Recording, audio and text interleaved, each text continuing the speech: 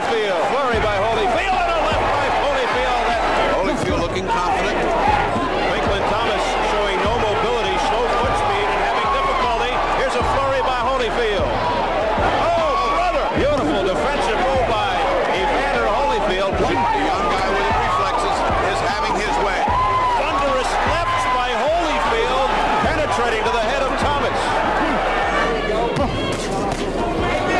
is in superb condition. What a right hand by Evander Holyfield. Holyfield dancing around, and again, a stationary target taking a beating. Thomas.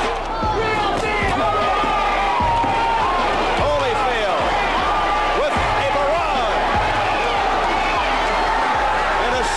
To the head of Thomas. That's it. Holyfield.